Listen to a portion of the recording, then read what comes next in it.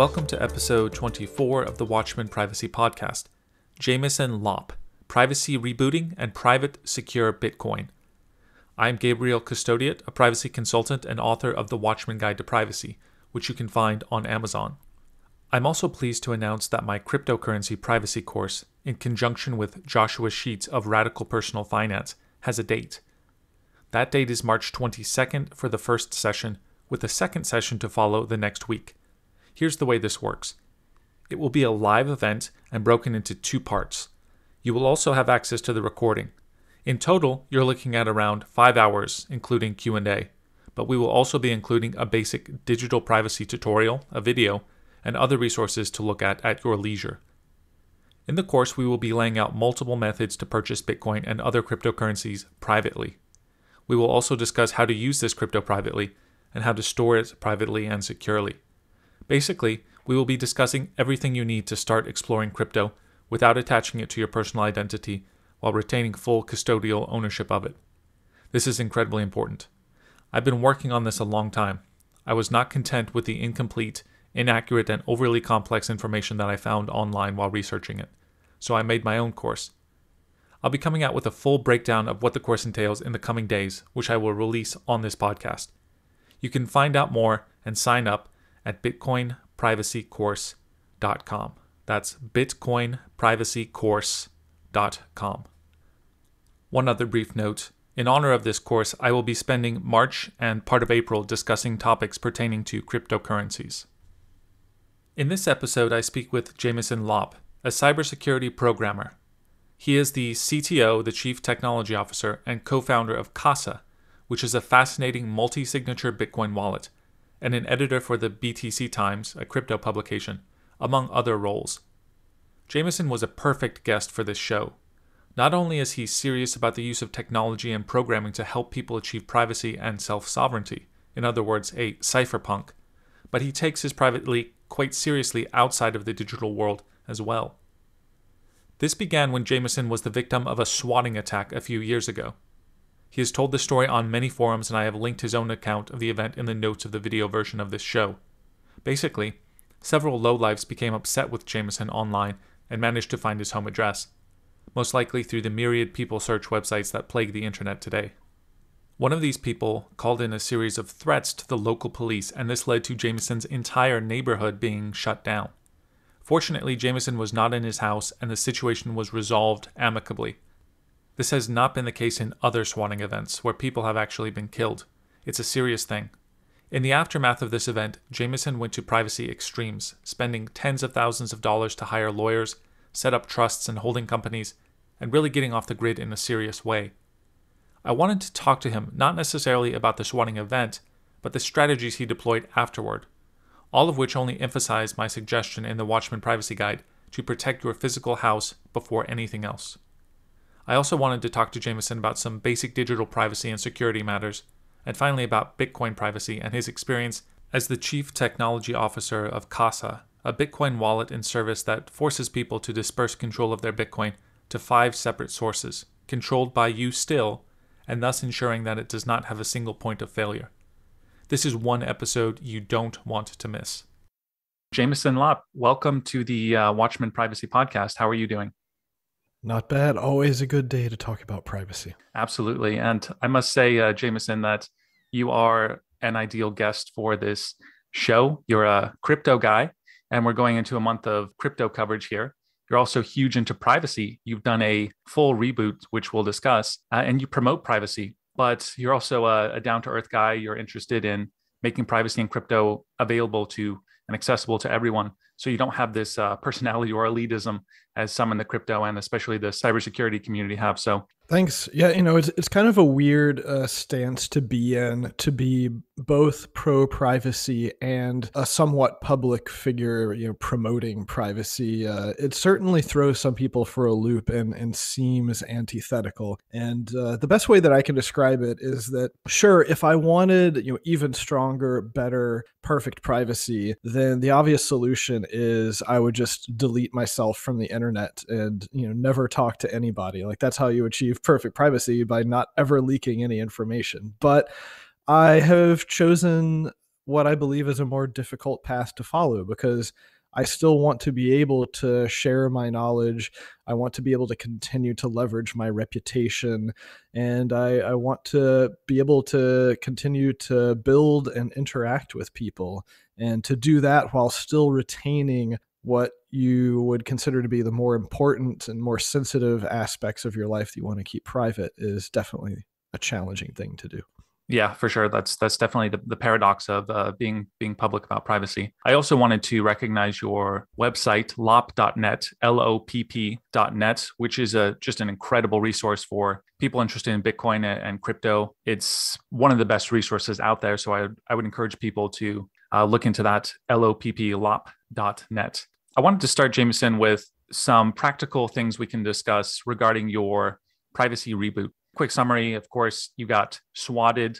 Kid got access to your physical address. He called in a uh, essentially a swat team uh, which cordoned off your neighborhood uh, and caused all kinds of havoc. It was very costly and you decided at that point to take your property and such out of your real name and put it in the name of trusts and llcs presumably and, and things of this nature from that. And my first question was how did this kid how did he find your physical address I don't know exactly, but I can tell you that anybody with 10 or 20 bucks who was willing to go to one of the dozens of, you know, public people finder engines would have been able to find it. Uh, it's just sort of the nature of how the modern economy works that you own things, you create accounts with many different services, um, and then any of those that are in any way connected to sort of the credit system and the financial system. They end up all getting aggregated together either by credit reporting companies or by other shadier uh, data collection and reseller companies. And, and so at, at the end of the day, if you're going about your normal life operating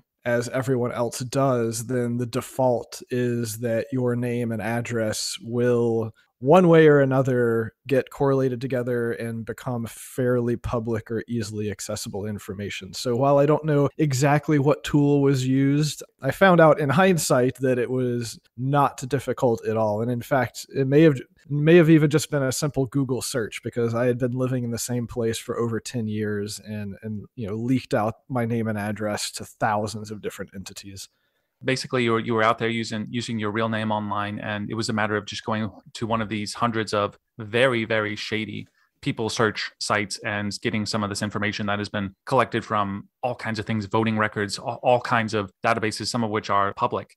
It's just the the nature of the internet that as you go about your business as you're browsing the internet as you're interacting with hundreds and thousands of, of different machines and companies around the world that you are leaking information like a sieve uh, if you're not very careful about what you're doing. And ultimately, as we were saying earlier, that information all gets aggregated, collected, disseminated, sliced and diced a million different ways. And it will get used against you somehow. Now, maybe it'll only get used against you to try to sell stuff to you, but maybe some more malicious person uh, will try to use that against you in, in innumerable other ways.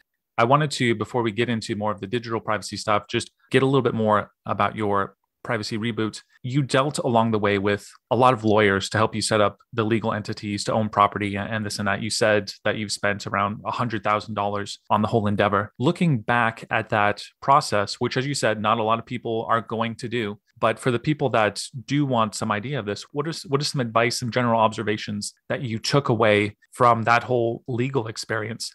Well, I mean, the first thing you need to recognize is that this is a very uncommon path that mo- not many people walk. And so when you then are are going out and trying to find service providers whether that's uh, lawyers or other just sort of semi-trusted people to act as as proxies for various aspects of your life that um, you're going to encounter some friction and you're going to probably have to talk to a number of different people before you even find the right fit either the person or company or entity or whatever that is willing to to work with you because it'll probably be a novel thing for them. And you know in general people don't like uh, ha- having to learn and do new things that was something that I ran into both on the privacy side and on sort of the whole aftermath of the swatting incident and, and trying to uh, find justice uh, for myself with that, because that was once again another type of legal path that not many people go down, basically trying to prosecute their own case rather than, you know, having state based uh, resources doing the prosecution.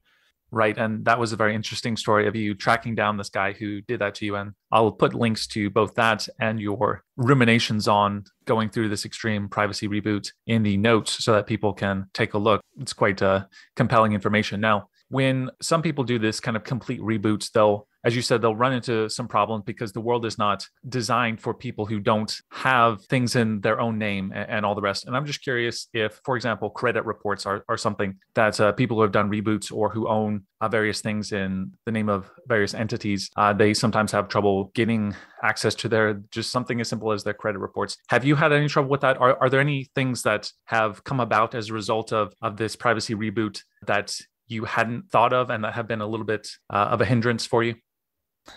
Oh, for sure. Uh, and I probably won't even remember them all. But um, if you are going for extreme privacy, then you obviously are going to have to make sacrifices. And there are certain things that are just simply incompatible with privacy.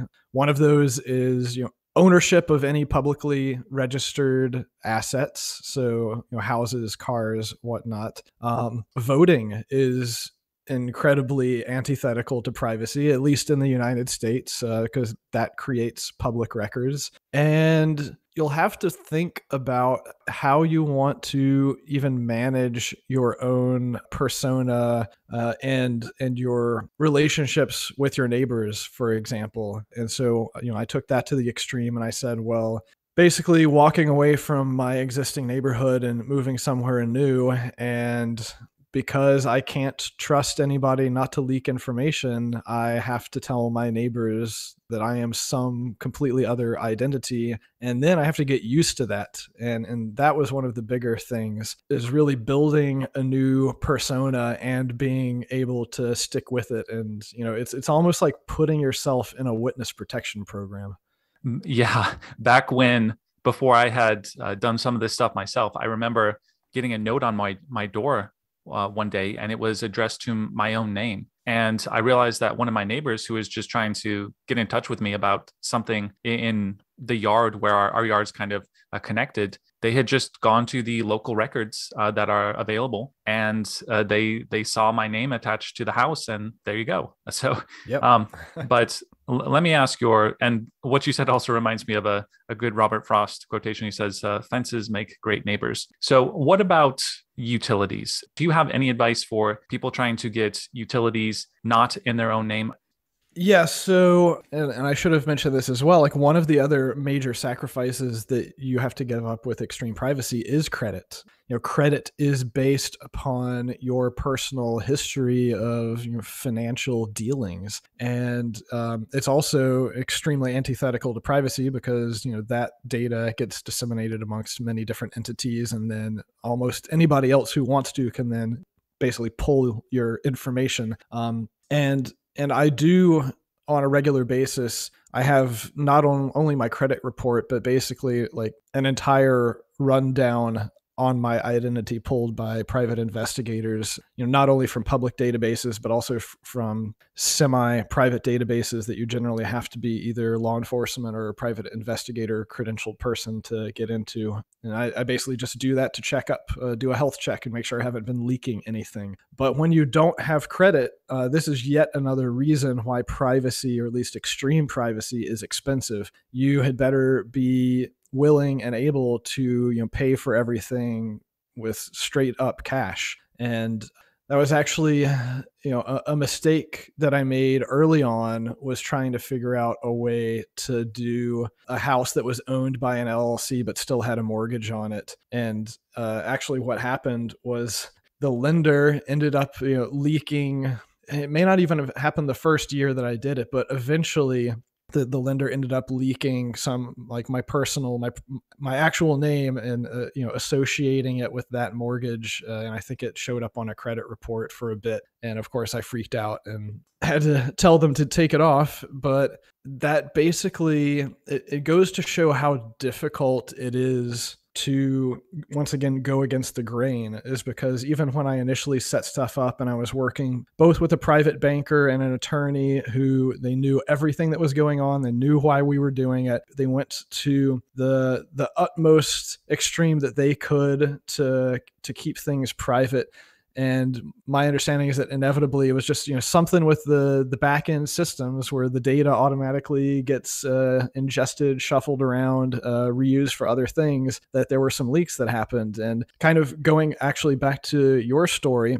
i was at a house that I had purchased with, well, through an LLC and uh, received some mail there in my name, which should have never happened because there was nothing that should have associated my name with that address. And you know what it was? It was it was either a holiday card or a birthday card or something from the bank. Oh know, no! The, uh, the, the mortgage had been through, and and it, it, was because all of their systems are tied together, and so some random system, you know, pulled up my information in the database and said, "Hey, send this guy a holiday card." Yeah, it, it, can get so messy. One, one of the most aggravating but also entertaining episodes I've listened to of Michael Bazzell's podcast was when he tries to go in and buy a, a new car uh, in the name of uh, an entity without giving out any personal information. And uh, let's just say he got kicked out of uh, many a place. You mm-hmm. said at the time of this swatting that one of the reasons why you didn't want the police to do a search of your home obviously there was there was there was nothing there and you don't want police coming into your home was that you had multiple guns sitting around and i'm just yep. curious for our american listeners who live in a civilized country where they don't come at you with guns for having your own guns uh, mm-hmm. since then have you made any changes to your gun privacy interesting like from from a privacy standpoint i actually have not purchased any new weapons in several years um, and and part of that is is because you know normally I've always done it through federally licensed firearm dealers. I have made perfectly legal private purchase sales in the past. Can be a little bit weirder to do. Um, just takes a little more effort to be careful. But I guess it just it hasn't really been at the top of my list. I've I felt like I've I, I mean I've been collecting firearms for 15 20 years now and I, I feel like at least from a personal defense standpoint my collection is sufficient um, i will probably eventually want to get into collecting more antiques, curios, relics, and stuff. I actually had a, a, federal license for doing that for a few years though that was a huge privacy problem in and of itself because you have to sure. fill out a lot of paperwork and you have to actually essentially give permission to the the ATF to come and check in on you and check your your logs and everything. So I, I actually let that expire as a, a result of my desire for more privacy. From a security perspective, I, I still I still go about my self defense in pretty much the same way that I had before, where at, at any of my locations, I have a decentralized series of quick access safes, which will, you know, have the firearms that I am familiar with and believe are best suited for home defense situations. You know, starts to kind of get off into a whole other tangent, uh, which I've written extensively on as well. But it's more on the you know the physical security rather than privacy side of Firearm, yeah, it's actually just the, the title of it is just called Firearms for Home Defense. Yeah, I, I basically talk about all the different considerations, and um, you know, some of these things could be applied to other weapons if, if you're in a country that is not firearm ownership friendly. You know, the the long and short of it is that you know, if you want to be able to defend yourself, then you need to have a plan and a way to be able to access whatever weapons you can uh, in a very short time period if you believe that you know someone is attacking you because you probably won't have uh, a lot of time to go you know spend 30 seconds or whatever on a, a dial combination safe to try to open it up you know while you're in the heat of the moment and fearing for your life Exactly. So you've had various interactions with the police, both at the time of this event and presumably in, in subsequent years. And we recommend on this podcast Boston T. Party's book, You and the Police, uh, which is a great place for people to start. Any observations about uh, how to a- handle interactions with police?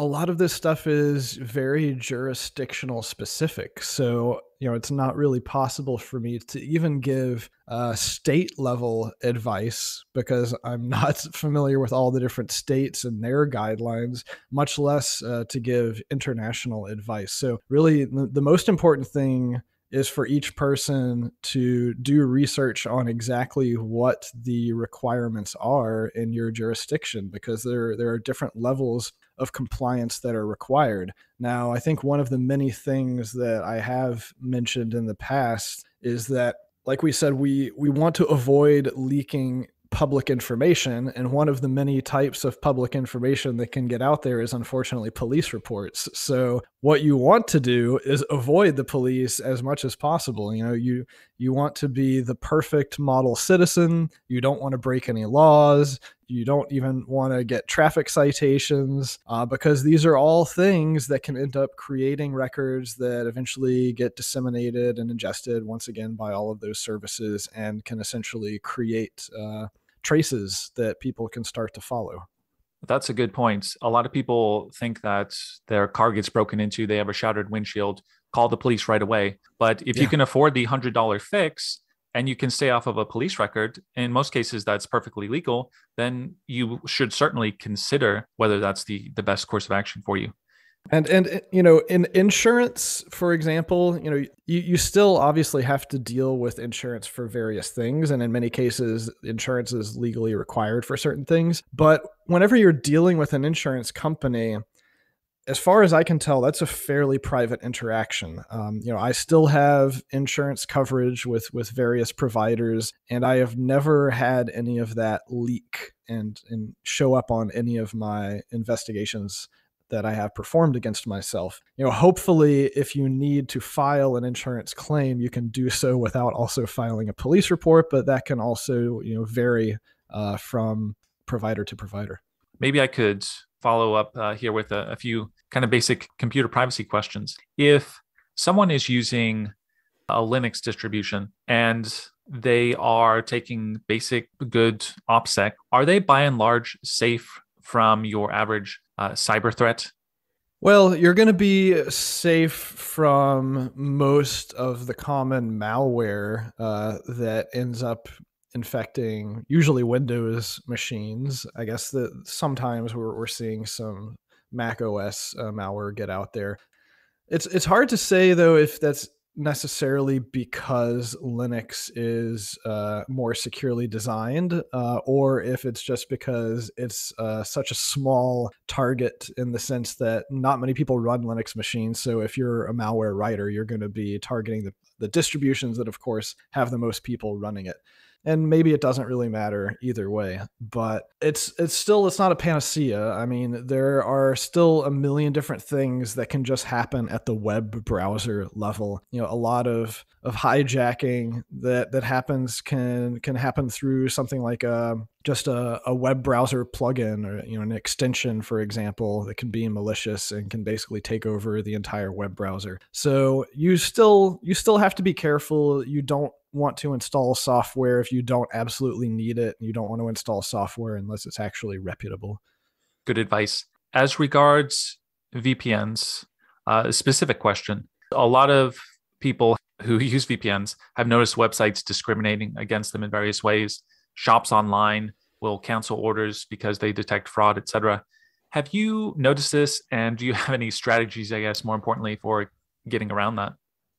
Absolutely. I mean, you're essentially a second class citizen because you you automatically get red flagged by a variety of different, you know, denial of service or other firewall type systems that various commercial services will erect because if they don't do that, then they're going to get hit uh, by criminals who are trying to mask their behavior. And it's um it's unfortunate and it's once again really one of those uh, your mileage may vary type of issues so you know i've had plenty of times when I just try to open a website and it's just straight up blocked. Usually it'll be a sort of more security conscious, like financial site or something like that, that's a bit more locked down. And if that's the case, then I may simply try switching you know, VPN servers a few times to see you know how comprehensive their blacklist is. And if that doesn't work, I may try switching to you know, a completely different uh, VPN provider. You know these things only take a few seconds to do if if you have the uh, the VPN software installed you know worst case scenario if there's something where you absolutely you know need to be on clearnet but you don't want to be leaking your home ip address then Starbucks. you can always just yeah go go to your local uh, free wi-fi place i mean it, free wi-fi is so pervasive if you're anywhere near civilization that it's uh it's not usually too much of an inconvenience to do but then also I think in my experience, Google and Apple are some of the worst when it comes to their fraud detection in the sense that they have the the, the most sensitive fraud protection. I think Amazon's pretty bad too. But for example, I uh, for many years had a, a, Google Fi phone, which was awesome because it was basically unlimited bandwidth anywhere in like 100 and 30 countries for basically 20 or 30 dollars a month. And when i when i tried to improve my privacy obviously i knew that i had to get rid of my my current account because it was under my name and i tried oh for hours on probably half a dozen different occasions to try to to to set up a, a google fi account using you know any of my llcs or other entities and they would they would just block it immediately and, and not let me finish setting up the account and getting uh, a phone. So i ended up having to use some uh, random you know international sim card provider with uh, android phone that i basically bought from some other random website and had shipped to a, a remailer box all under the name of an LLC. So, you know, it's, it's unfortunate sometimes just how much more difficult those fraud detections can make your life if you're trying to uh, protect yourself. This unfortunately gets a bit more technical uh, because I expect most people just use commercial VPNs, and that's a whole other um, can of worms in and of itself is like which ones are the good ones. Um, and I have several links on my website to try to help people uh, differentiate. But you can, of course, always run your own VPN. Um, right. I'm not. I, have never heard of anyone who is running their own VPN uh, getting blocked like this, and and I don't know why you would because you wouldn't you wouldn't show up on any blacklist because there would there would be nobody else performing malicious activity through your own personal VPN's IP address.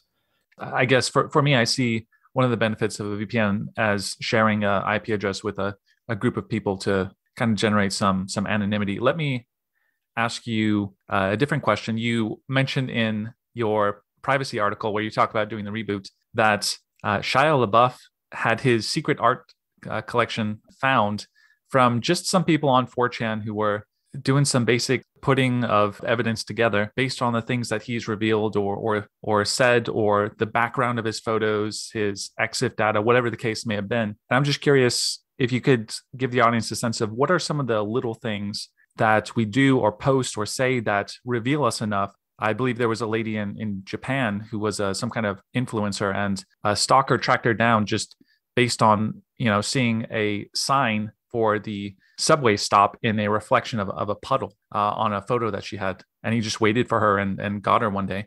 So what, what are some of the, the things that we're revealing just in very mundane activities that could lead up to, to bigger and, and worse events?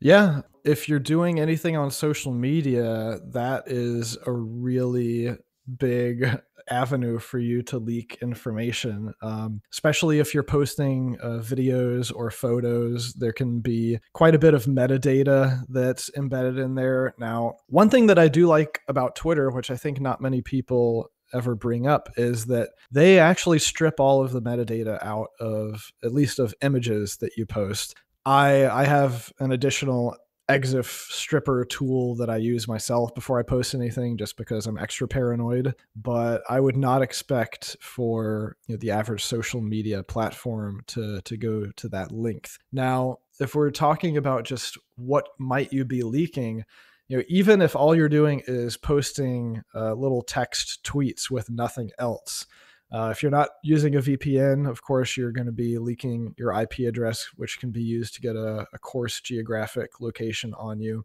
Even just from the the patterns of the time of day that you're posting will most likely, over a long enough period of time, give people a very good idea of at least um, what time zone you're in uh, based on your sleeping patterns. If you're if you're posting audio or video though, you have to realize that those things contain so much more information. They're just really information rich media that you never know uh, what you might be leaking. Like you said, it could be uh, something in the reflection or the background of a photo or a video. Um, it could even be, you know, audio like. Uh, perhaps the the sound of an airplane or a train not completely unique noises, but uh, unique enough that, especially if you have enough data points over a series of time, then people can start triangulating all of the possible places that it could be, and then continue to you know whittle down and whittle down further and further. And I think, if I recall correctly from that story about uh, LaBeouf, he eventually the final triangulation happened because some of the the crazy fans who were trying to track him down were literally driving around in the rough area where they thought he was and honking their horns and then waiting for other people to hear those honks uh, over the live stream. Let me move on. Uh, i want to get to crypto and and casa which is your your service. But uh, if i may i'd just like to do a few uh, rapid fire kind of what is your preferred software just to start, what is your preferred password manager? I like 1Password. Um, it has a lot of features. It's open source. It works well with with teams and sharing, and it and it works on pretty much every platform. Um, it even runs well, and this is a, a big one for me. Uh, its mobile application runs on Graphene OS, uh, you know, the completely stripped down, de-Googleified Android operating system. Preferred 2FA application. Uh, Yubico's OTP manager that you can use with the YubiKey to keep the secrets on the YubiKey. A daily driver operating system. Ubuntu. What percentage of your browser usage would you say is on the Tor browser? Ooh, less than 1%, actually. yeah. Uh, what about your daily driver phone operating system? Graphene OS. Search engine? DuckDuckGo. Do you have a VPN at the router level? Sometimes, uh, but that's a whole other story. sure. But um, but n- lately, no, um, and it's an ongoing project, and I, I, believe there's you know technology will continue to improve, but right. long story. And then preferred VPN.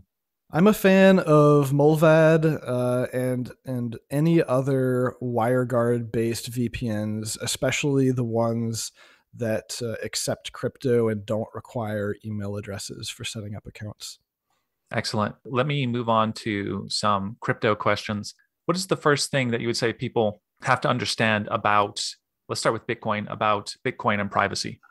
Well, that the the design of Bitcoin in many ways is highly antithetical to privacy. It it really is meant to be a very open and transparent system, and the reason for that is to maintain the integrity of the system against malicious actors trying to you know double spend money or defraud you. Uh, you know, basically to corrupt the actual monetary properties of the system. And so people will sometimes say, well, why are people using Bitcoin? You should use a privacy coin like Monero, which hides the blockchain. Is Monero, by hiding the blockchain, contradicting the uh, whole point of, of the blockchain, which you just said, which is to be transparent? Oh, this is a fun rabbit hole to go down. And um, suffice to say that I believe, especially if you're performing any activities that you want to be uh, private, that you know they're sensitive for any reason, like for example, paying for a VPN, then absolutely you should use Monero. Um, it, it's I don't think it's controversial to say that it has far better uh, privacy by default than Bitcoin. Now, is it going against some of the properties. Um, no it's it's just making some slightly different uh, assumptions. Basically you you have to have some additional trust in the the ring signature aspects of the system that no one is able to inflate the money supply. But I would say that, you know, in terms of the ethos of Monero, that it, it makes sense because it places a greater weight on privacy, whereas Bitcoin places a greater weight on auditability and um, transparency of the system. Interesting. What a lot of people don't talk about is how to acquire Bitcoin to begin with privately. Do you have any thoughts on the best ways to acquire Bitcoin privately? By offering goods and services for it. I mean, that's right. Absolutely. Uh, by engaging in commerce or other means of exchange privately between yourself and and one other person directly you know in a peer-to-peer fashion as it was originally intended. Now if that's not an option uh, for whatever reason if if you're not you know operating some sort of business that can do that then you have to figure out a way to basically do an, an over the counter you know or face to face trade. And there's a there's a variety of platforms that will let you do that. The one thing that i caution people on is don't obviously take a don't take a, a suitcase full of cash and meet some random person in a parking garage and and you know expect to do uh face-to-face trade unless you know you're also bringing a whole lot of security and, and taking other precautions um, there are a few peer-to-peer trading apps where you can basically set up uh, multi-signature base escrow and and do it uh, you know over the internet without having to take the uh, the physical risks that that come with doing a face-to-face trade. Good advice. You hear or I hear these days of tainted Bitcoin, of Bitcoin that institutions see as having at some point been tied to a crime and therefore they don't accept it or they might even report it. Is that something that's on your radar? And if so, what what, what is to be done about it? Well, yeah, not only that, but uh, what we've seen over the past couple of years is more of the regulated financial institutions considering anything within several hops of your activity on their system uh, to potentially be suspicious. And so, uh, something as simple as if you withdraw your Bitcoin from an exchange and then send it to a mixer, they might see that and shut down your account because they just think it's too risky. Or if the opposite happens and you know you you have funds that you have sent through a mixer uh, and then you deposit them on the exchange, they may do the same thing, shut down your account, say, you know, we have decided not to service you anymore. However, it's only really a problem when you're dealing with these regulated institutions. Like you're you're not going to go buy a computer from some retailer who is accepting bitcoin and you know they're not going to perform that level of, of analysis on you because from their perspective all they care about is the fact that they got paid. And you know once that bitcoin hits their account they know that it's it's not going to be charged back and they're they're going to send the the goods or provide the service to you.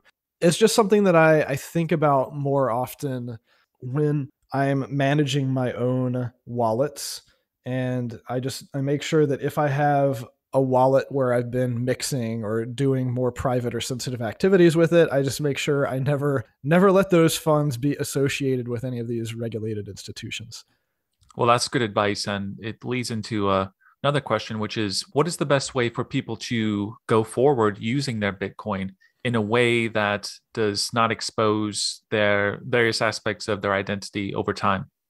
So, what I think a lot of people will tell you is that you know you need to be mixing your coins. I don't necessarily uh, subscribe to that. Uh, for one, because we we don't necessarily know just how good the mixers are. I mean, there was just some news that came out today talking about Wasabi Wallet coin joins getting um, traced and and demixed and there's also the question of who are you actually trying to protect yourself from so when it comes to mixers i don't think it makes sense to be like regularly mixing your coins. What i think it makes sense uh, to use mixers for is if you want to make a payment and you don't want the recipient to be able to just go onto a blockchain explorer and you know trace it back one or two hops and see oh you know, this person has hundreds of thousands of dollars because they can now see uh, you know a large portion of what your total holdings are just due, due to the nature of how the the blockchain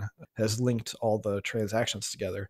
Uh, so I think it makes sense to use them when needed as making a payment. Otherwise, second layer technologies like lightning will actually offer better privacy because you know these are actually making the payments off chain. So there, there is no explorer that someone can go to and, and look up and, and sort of trace back the payment to your wallet and see your total holdings. You know lightning is still uh, gaining adoption.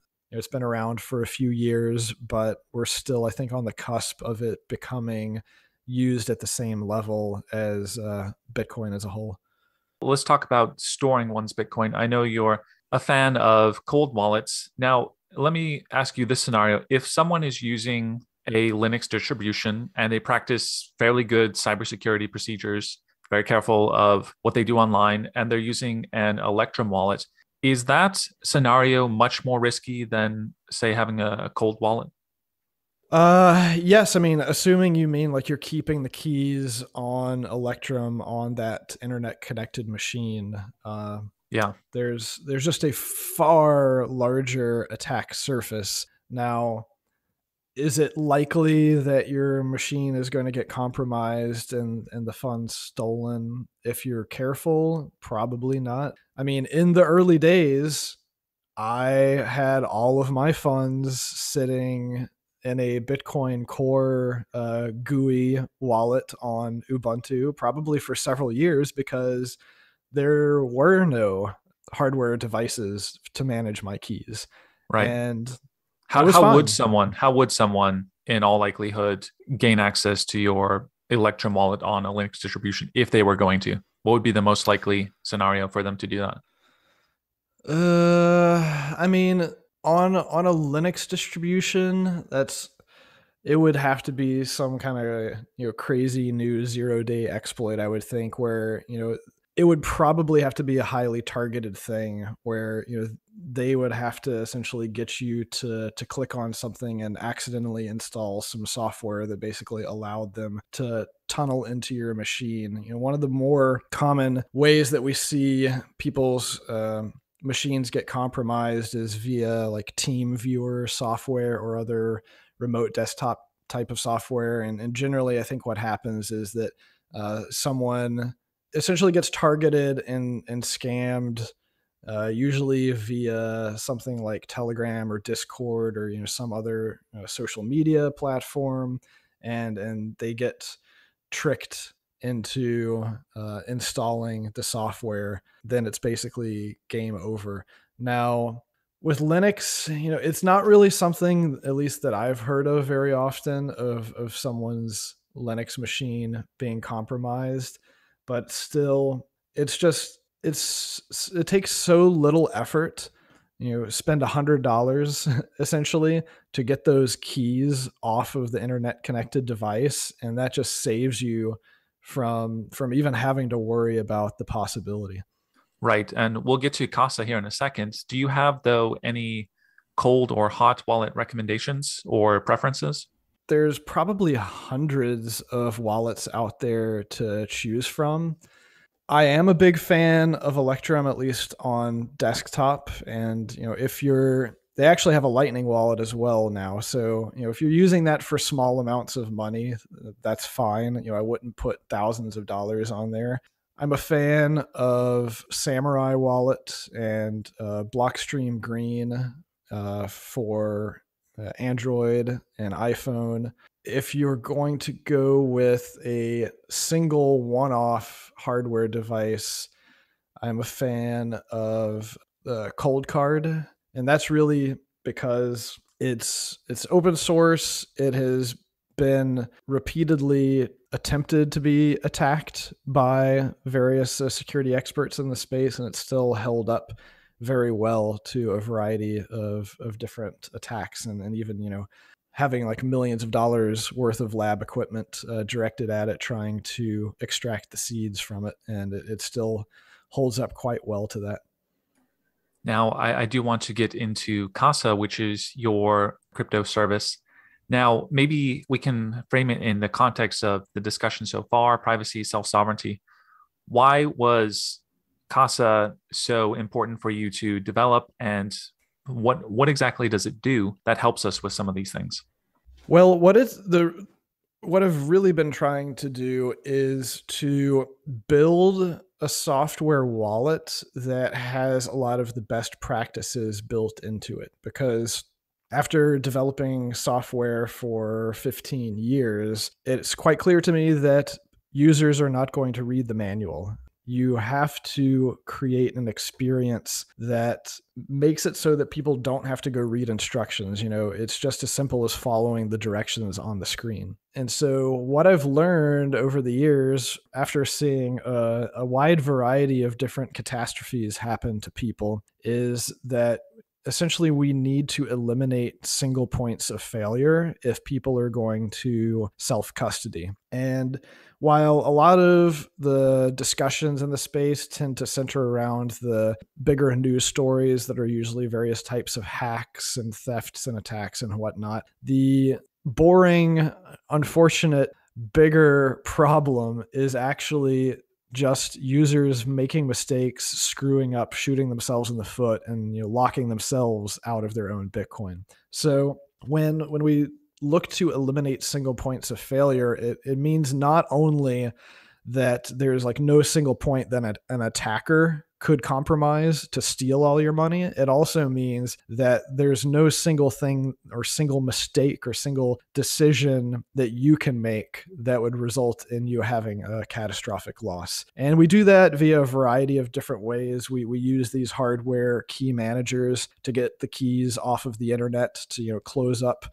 a lot of those potential exploits and attack vectors. And most importantly, we use a multiple key set so that you're essentially requiring authorizations from multiple different keys that are on multiple different devices. And, and each of these devices should be you know, different brands, uh, essentially different supply chains. And by geographically distributing those devices, you then get additional resilience against loss and and physical attack because there's no longer any one single catastrophic event whether it be flood fire famine what have you uh, that will uh, wipe out you know all of your keys in one go.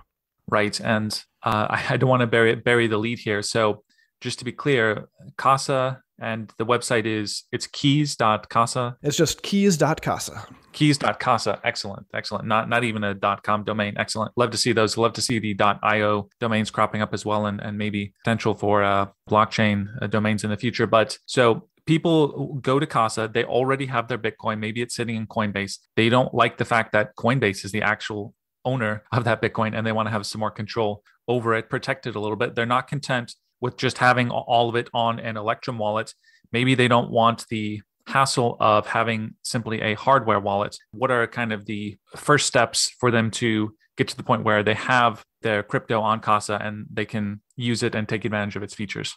Yeah, so we have a few different things that we offer. We're, we're not like your average Bitcoin wallet. The, the vast majority of Bitcoin wallets out there are just completely free software that you you you download, you install, and then you better read the manual and do it yourself. Uh, you you know you may be able to get some email support if you're lucky and it's not peak hype bull season when everybody's flooding their support. But most of these projects really rely upon community support and re- rely upon people doing a lot of research to figure out you know how to to navigate uh, using the system. One thing that you're getting with us is you're paying us and you're paying us not only for having a, a great user experience uh, where you know we've worked through all of the the workflows of getting set up and maintaining this key set with multiple devices but you're also paying us for having uh, a high level of support. And we have a few different tiers there. We have a really entry level tier that essentially comes out to about $10 a month, um, which will just get you into a two of three key set. So you'll you'll have you know multiple keys in multiple locations. But then depending on your your level of assets your paranoia your general like level of, of service that you want we have several higher tiers that get into the thousands of dollars per year. And what you're really getting there is uh, like white glove level of service dedicated uh, client advisor. And we will discuss with you basically anything that you are concerned about on the technical side, on the like how to actually store these devices, on inheritance issues. It's um, you know it's much more than just key management. It's actually you know how do you incorporate this whole idea of being your own bank into your life. You talk a lot about self sovereignty and having your own private keys. Now, let's say your crypto is on Casa. Do you at any point have to get approval, permission, or reach out to somebody besides yourself in order to make use of of that crypto. Right. And so like I said, one of our, our primary tenets is to eliminate single points of failure, and that includes ourselves as a company. So, one of the first things that actually happens when you finish setting up your account is you get an email that is is personalized and gives you step-by-step instructions on what to do in a worst case scenario. We call this the sovereign recovery process, but basically it's because we're not reinventing the wheel, we're not doing anything out of the ordinary or novel that's like proprietary to us. We're using standards and well uh, available industry hardware that uh, is produced by other companies. You know, once again, uh, continuing to decrease the the level of trust that you have on us. But uh, point being, you can recreate your entire setup and spend your money without ever touching Casa's software, without ever touching our servers, uh, as long as you have uh, you know sufficient quorum of keys and you have the data required to initialize uh, that multi-sig wallet. There are you know multiple other compatible pieces of software out there that are completely unrelated to Casa that you can do that in. And we provide instructions for that. Thank you again, Jameson. And just so people are reminded, it's keys dot C A S A. c-a-s-a And I also recommend his website, lopp.net, L O P P.net. All kinds of great resources there for beginners, uh, even. With that said, any other places, Jameson, that you'd like to direct people? Not offhand. I mean, I think you'll you'll be able to find a lot of my ruminations uh, on my website, on my blog, and um, you know, the main thing that I try to get across to people is that you don't need to feel overwhelmed by any of this. It's it's it's much like going down any rabbit hole of any particular subject. You don't need to go all the way to the bottom. Uh, you can just spend a few hours here and there continuing to pick away at it. And the, the same is true for privacy in general, uh, for learning about Bitcoin and you know continuing to increase uh, and and fortify your posture there uh, with your holdings people should take this approach to you know all of the important aspects of your life is that while it's good to go really deep on some subjects and be an expert um, you know you also need to have some breadth and just spend a little time here and there and you know, continue learning. And that's the the most important thing is just don't stop learning